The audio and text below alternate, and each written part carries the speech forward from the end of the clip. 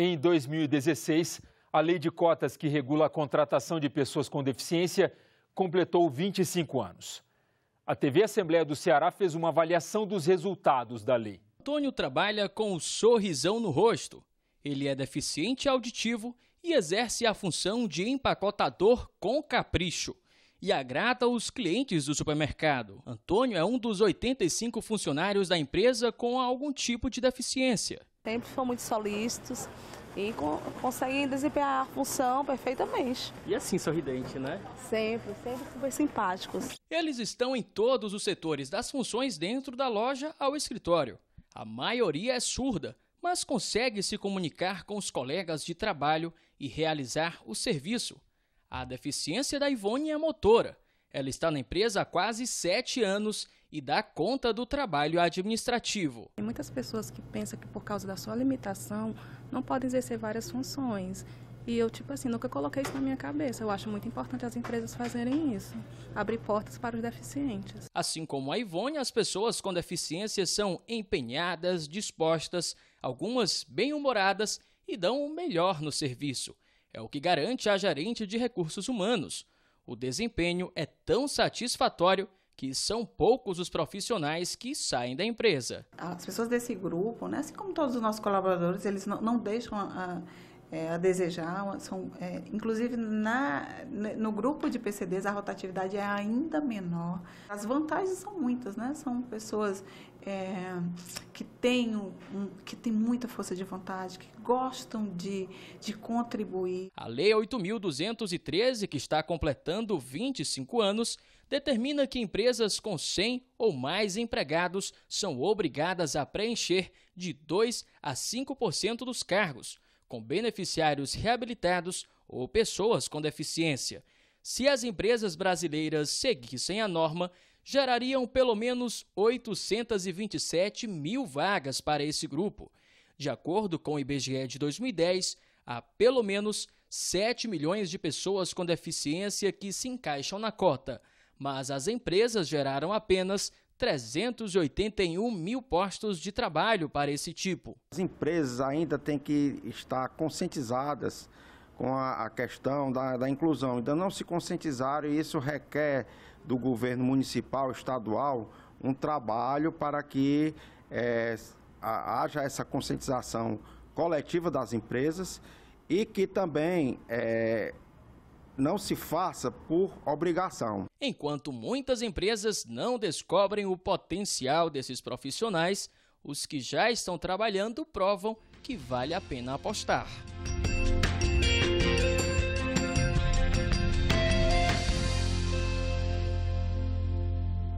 Em Mato Grosso, um projeto de lei pretende disponibilizar intérpretes da língua brasileira de sinais em todos os órgãos públicos.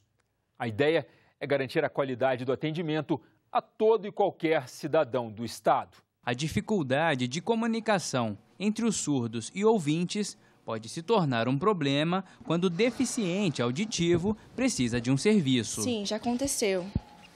De eu ir, né, fazer um exame, e eu senti dificuldades na hora da comunicação. Acabei tendo que escrever, e aí eu fiquei pedindo, eu fiquei percebendo a ausência do intérprete que faltava. Acabei tendo com a minha avó, porque não tinha intérprete. Eu já fui no, médico, eu estava grávida, eu estava grávida de nove meses. Eu fui no médico, ele não me conhecia, não sabia que eu era surda. Aí eu disse que eu era surda, ele começou a oralizar, falar comigo. Então a gente acabou se interagindo através de escrita, porque não tinha intérprete. Então precisa ter o intérprete nessa área. A gente precisa respeitar o surdo precisa ter língua de sinais, é um direito deles. A assistente social do Centro Educacional de Apoio ao Deficiente Auditivo conta que relatos como esses são muito mais comuns do que se imagina. Nós recebemos uma demanda de fora, dos surdos, de, de toda a comunidade, né, de familiares, e além de de alunos mesmo que já foram ex-alunos ou que vêm de fora, do interior. Então, quando não tem intérprete, a gente pega qualquer funcionário que tem aqui, faz o acompanhamento para poder eles terem essa acessibilidade, né? Porque realmente não tem comunicação, tanto em delegacias, médicos. Já aconteceu de eu ir no fórum, né? Eu estava em casa e me ligaram falando assim: é, tá falando da minha intérprete? Falei, sim, eu tô precisando de um, com urgência de um, de um intérprete de língua de sinais, porque um surdo tinha acabado de ser preso. Então, neste momento, na hora que eu cheguei naquele lugar, eu, fui, eu pensei comigo, falei, meu Deus, o quanto é precioso, o quanto é importante ter um intérprete, ou pelo menos alguém que saiba a língua de sinais nestes momentos. Porque ele não foi ocupado pelo caso, acabou que foi sendo liberado, mas pelo fato de ter um intérprete lá, e se não tivesse? Ele acaba sendo penalizado por uma coisa que ele não fez. Para garantir a melhor comunicação entre surdos e ouvintes nos órgãos públicos, o deputado José Carlos do Pátio apresentou um projeto de lei que institui a obrigatoriedade de inclusão de intérpretes de Libras nas instituições do Estado.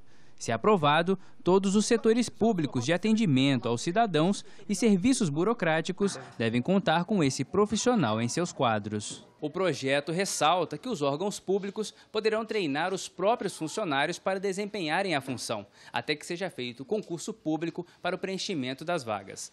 Outro destaque é a inserção do intérprete de Libras nas propagandas institucionais veiculadas na TV por parte dos poderes públicos. É, em Cuiabá, nós temos a central de intérprete, onde tem intérprete, só que, infelizmente, são poucos intérpretes para atender toda a demanda.